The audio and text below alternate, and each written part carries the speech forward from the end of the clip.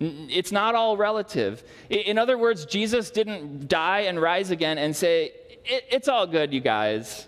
Like, go believe what you want and do what you want, and I'm sure it'll all work out in the end. Like, does that sound like what Jesus did on the cross? No, he says your beliefs and your actions and your decisions that you make with your life, they're important. They matter. Uh, they have a profound influence to either chain you up or to set you free. You see that? Like, so which one do you want? Because we all have, to some degree, this pull. Like, we want to be, have this pull towards relativism in our day, which, which really just says that I can find and I can define fullness on my own terms. I can just do it on my own. And the Christ filter would challenge us to ask ourselves. He would say, Does my worldview look like Jesus? Or does my Jesus look like my worldview?